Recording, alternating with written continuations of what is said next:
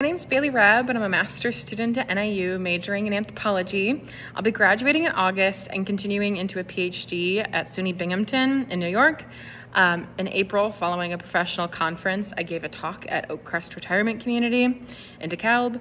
Um, this was a great experience because I'm used to talking about my research and talking about archaeology with other academics um, at conferences or with students on campus because I've been a TA at, at NIU.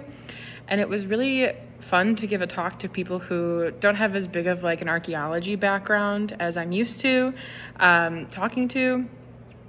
And um, also talking to people who aren't in the same age bracket that I'm used to talking to. Students are generally within like the same age range as me, and there's sometimes older students. And I used to work at a public archaeology nonprofit in Indiana, so I actually taught a lot of um, younger people, so people in kindergarten.